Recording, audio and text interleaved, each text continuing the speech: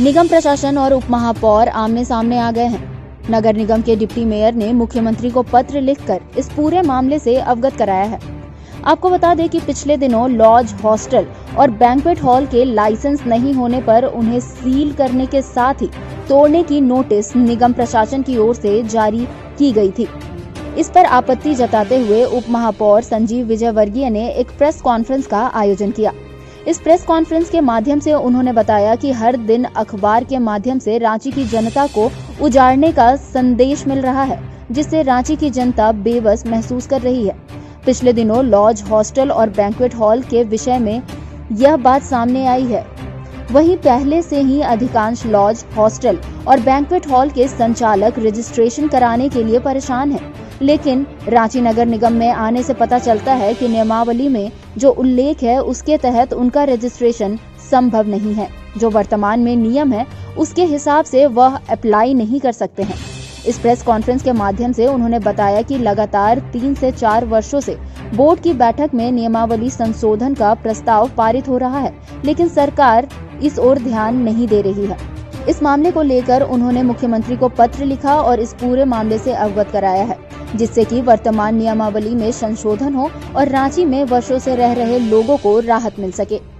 देखिए, लगातार पिछले कई महीनों से अगर आप देखेंगे तो रोज जनता के लिए कुछ ना कुछ नए नियम प्रकाशित आप लोगों के भी माध्यम से हो रहे हैं। और कहीं ना कहीं जनता डरी भी, पता नहीं क्या हो गया है।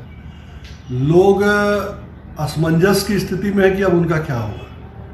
आज अखबार में सुबह पढ़ने को मिला, चालीस घर सील होंगे, या उनको तोड़ दिया जाएगा। कल सरवर नगर में भी कुछ घर को तोड़ा गया। उसके पहले न्यूज़ आया कि जितने मैरिज हॉल हैं, वो सील होने जा रहे हैं। पोस्टल सबको सील कर दिया जाएगा। कचरा कहीं फेंकेंगे तो पाँच सौ फाइन लग जाएगा।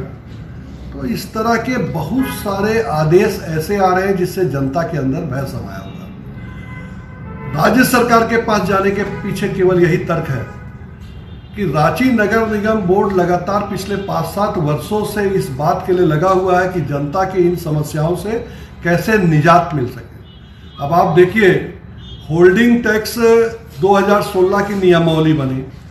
ट्रेड लाइसेंस भी हम 2016 नियमावली के अंतर्गत करते हैं। ऐसी विसंगतियाँ हैं कि अगर हम चाहेंगे तो भी कभी कभी नहीं हो पाता। कारण, उसमें होल्डिंग टैक्स की कुछ कमियाँ हैं। कुछ पारिवारिक बंटवारा एक कारण है तो ऐसी विसंगतियों को अगर हम दूर नहीं करेंगे या जनता को डंडा मारने का प्रयास करेंगे तो लोगों को ये नहीं समझ में आ रहा है कि हम जब ट्रेड लाइसेंस मांग रहे हैं तो आप दे नहीं रहे हैं। होल्डिंग टैक्स कराना चाहते हैं, आप कर नहीं रहे हैं। कुछ ना कुछ कानूनी जटिलता की बात कर रहे हैं तो आखिर हम करें क्या?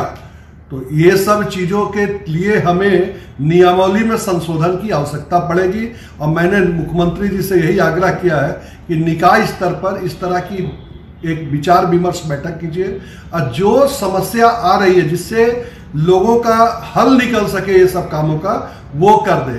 दूसरा विषय, भवन रेगुलराइजेशन का। आज जैसे सुबह सुबह अखबारों में पड़ा चालीस भवन, उसमें सेवा सदन जैसा भवन भी है जो वर्षों से लोगों की सेवा में लगा हुआ है, हॉस्पिटल है। और एक तरह से देखा जाए तो आवश्यक, आवश्यकता के अंतर्गत आता है। उस भवन को भी सील करने या तोड़ने की बात नहीं। तो कहीं ना कहीं ये एक अलग तरह का प्रचार जा रहा है रांची शहर में। मेरा स्पष्ट रूप से कहना है 2011 से मैं लगातार इस बात को उठा रहा हूँ कि रांची अनप्लैंड सिटी है, अचानक बढ़ा हुआ शहर है, कैपिटल बढ़ने के बाद जनसंख्या में भयंकर वृद्धि हुई इंफ्रास्ट्रक्चर का भी इरेगुलर विकास हुआ। अब हम अगर तोड़ने का काम करेंगे तो मुझे लगता है कि जाति रांची की जनता के साथ होगी, क्योंकि अधिकारी उस समय भी थे, आज भी हैं। अगर नहीं बनने देना चाहिए था तो उस समय भी अधिकारियों को इस चीज़ पर रोक लगाना चाहिए था। अब उस समय आप रोक नहीं लगाए, लेकिन आज आप बोल रहे हैं कि हम तोड़ देंगे तो मुझे लगता है कि इसी चीज़ के लिए 2011 में भी 13 में भी 16 में भी और 2020 में भी चार बार नगर निगम बोर्ड में हम लोगों ने प्रस्ताव लाके सरकार से कहा है कि सरल किया जाए रेगुलराइजेशन के काम को। अगर आप सरल करेंगे तो लाखों घर अवैध वैध हो जाएँगे, क्योंकि बहुत सारे ऐसे भवन हैं जिससे बहुत ज़्यादा अंतर ना तो ट्रैफ़िक पे पड़ रहा है, ना कोई सुरक्षा पर पड़ रहा है, लेकिन उन भवनों का भी नक्शा हम नगर निगम के नियमों के कारण नहीं कर पा रहे हैं। अब आज आप व्यवहारिक चीज़ देखेंगे आज के दिन बिल्डिंग बाइलॉज जो बोलता है बिल्डिंग बाइलॉज स्पष्ट रूप से कहता है कि अगर हम अवैध भवन को वैध करेंगे तो पंद्रह सौ रुपये प्रति स्क्वायर फीट लोगों को फाइन के रूप में देना होगा। मतलब जितना लागत घर का हो, उतना फाइन कौन कराएगा इससे में अवैध को वैध? आपको कहीं ना कहीं लोच लाना होगा, कानून में बदलाव करने होंगे। कानून ऐसा बने जिससे कि अधिसंख्य जनता, मैं नहीं मैं नहीं कहता हूँ कि सबको फ़ायदा मिल जाएगा, लेकिन अगर हम ऐसे लोच ला पाते हैं तो कहीं ना कहीं हम एक प्रयास कर पाएँगे कि जो अवैध भवन है, वो वैध हो सके। आप ट्रेड लाइसेंस उसके बारे में बता बैंकवेट हॉल और बैंकवेट हॉल और हॉस्टल की बात मैं बताना चाहूँगा। आज के दिन रांची शहर में पाँच हज़ार हॉस्टल चल रहे हैं और उन हॉस्टल में झारखंड के कई शहरों के बच्चे, बच्चियाँ या फिर अन्य जो सर्विस करते हैं, वो लोग रहते हैं। हमारे यहाँ से अगर वो लाइसेंस लेने आएँगे तो हम एक परसेंट लोगों को भी लाइसेंस नहीं दे पाएँगे। इसलिए कि नियमावली में दर्ज है कि जिनका नक्शा पास नहीं है, उनको हम रजिस्ट्रेशन नहीं कर सकते हैं। उसी नियमावली में एक जगह लिखा हुआ है कि 2013 के पूर्व का अगर भवन है तो हम उनको एक साल का रजिस्ट्रेशन दे सकते हैं। लेकिन मुझे लगता है कि कानून बनाने वालों ने उस समय कहीं ना कहीं विसंगति की है। एक साल के लिए जब बन सकता तो बाद में क्यों नहीं बन सकता? और अगर एक साल के लिए बन बन सकता है, अब बाद में नहीं बनाएँगे तो फिर तो मतलब नहीं हुआ कि एक बार आप उसको सही करार दिया, बाद में गलत करार दिए।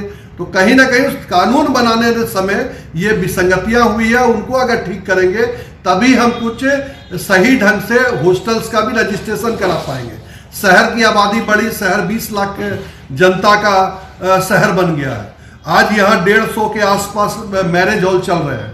मैरिज हॉल का 16 आदमी का केवल रजिस्ट्रेशन रांची नगर निगम से हुआ। क्यों? इसके पीछे सबसे बड़ा कारण है कि हम जो पेपर्स मांगते हैं, वो पेपर्स की कमी है उनके पास। नगर निगम के पास परेशानी ये है कि एक सॉफ्टवेयर बना हुआ है, जिसमें चीज़ें अंकित है, जो पेपर देगा, उसका पास होगा, नहीं तो रिजेक्ट हो जाएगा। अब इन इस रिजेक्ट को हम कैसे दूर करें? रिजेक्शन को दूर करना मकसद है, नियमावली में संशोधन लाएँगे तो अपने आप रिजेक्शन बंद हो जाएगा। मुझे लगता है कि सरकार को इन सब विषयों पर ध्यान देना चाहिए। रेवेन्यू भी निगम का बढ़ेगा, जनता की परेशानी भी दूर होगी, सरकार की वाहवाही भी होगी, इसलिए कि सरकार भी जनता द्वारा बनाई जाती है। जनता को सुविधा देना शहर में मुख्य काम नगर निगम का है तो राज्य सरकार का भी है। राज्य सरकार को नगर निगम की सरकार के साथ समन्वय स्थापित करके, विचार विमर्श करके जो जो भी संगतियाँ हैं, उनको दूर करके जनता के लिए हल निकालना सारे खबरों से अपडेट रहने के लिए आप हमारे फेसबुक पेज को लाइक और फॉलो करना ना भूलें। साथ ही साथ आप हमारे यूट्यूब चैनल को सब्सक्राइब करें और आप हमें इंस्टाग्राम पे फॉलो भी कर सकते हैं। और भी खबरों से अपडेट रहने के लिए आप विज़िट करें डब्ल्यू